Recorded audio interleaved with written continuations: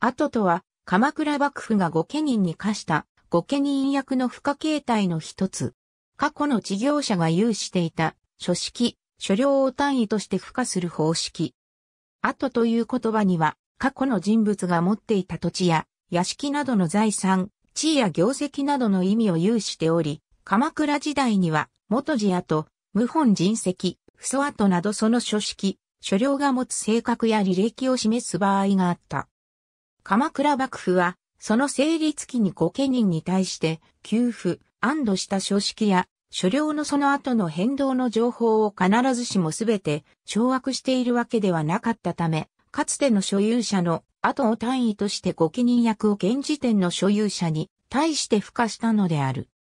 還元2年に鎌倉幕府は関東区事について幕府から格別の禁止を命じられない限り、その後を治業する者がよりあって、所領の文言に従って禁止し、新音の所領は、父祖後の所領に相加えて禁止すべきと定めており、その後を継承した子孫が、その御家人役を分担して負担することが定められている。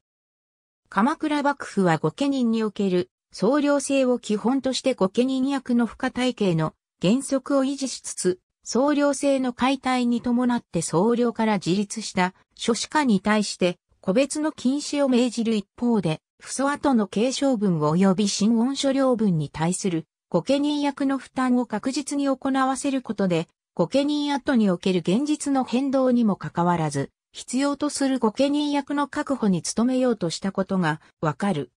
だが、それは裏を返せば、鎌倉幕府は後の現状を必ずしも把握していなかったことを示している。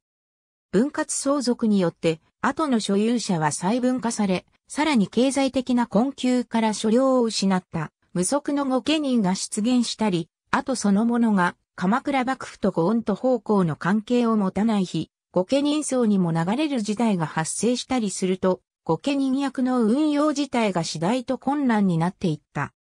そして、鎌倉幕府の滅亡によって、旧幕府方について没収された後が、兼務政権によって、公家や自社、それに属する非御家人などに与えられるようになると、御家人役そのものの解体が進められ、その後に成立した室町幕府も鎌倉幕府のような御家人制度を復活させることはなかったのである。ありがとうございます。